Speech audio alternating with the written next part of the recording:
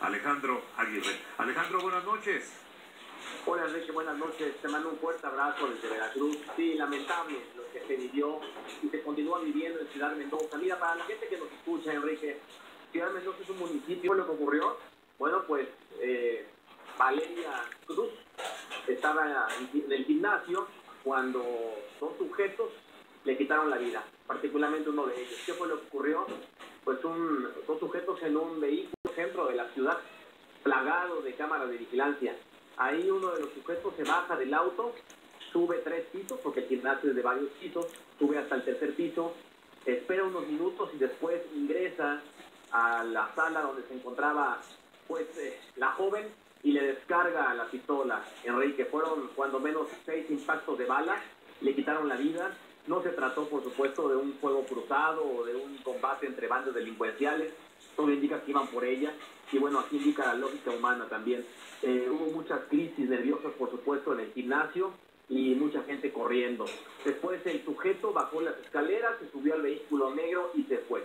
Ya el gobierno de Veracruz ha externado que condena el hecho y que ya tienen retrato hablado de los delincuentes, de los presuntos autores intelectuales.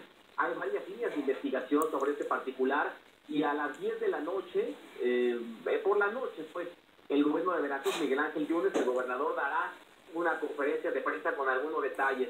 Enrique, te comento que la UV, la joven estudiaba medicina en la Universidad Veracruzana y en Ciudad de Mendoza, ya externó también la UV, la máxima casa de estudios, externó su, eh, pues, su preocupación por lo que se vive en el Estado y, su, y, la, y lamentó la muerte de su estudiante.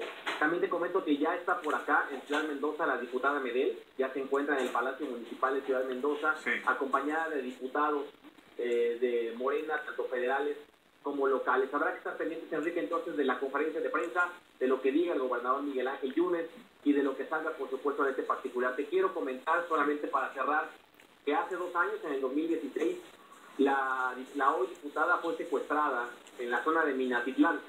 Fue rescatada previo, previo pago de rescate Sí. eh, y la banda fue también capturada, la banda que la secuestró.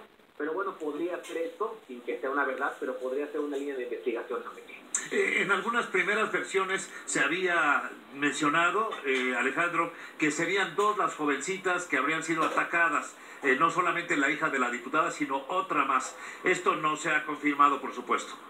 No, no, no es información confirmada. Sí, sí escuché la versión, Sí. pero no es una información confirmada. Bien. Hasta el momento lo único confirmado, habrá que de reportes oficiales, claro, pero lo único confirmado es la lamentable muerte de Valeria Cruz, Bien. de 22 años, estudiante de medicina, hija de la diputada Carmen Medel. Lamentable, muy lamentable, Enrique. Vamos a ver qué dice el gobernador. Alejandro Aguirre, como siempre, te mando un afectuoso saludo.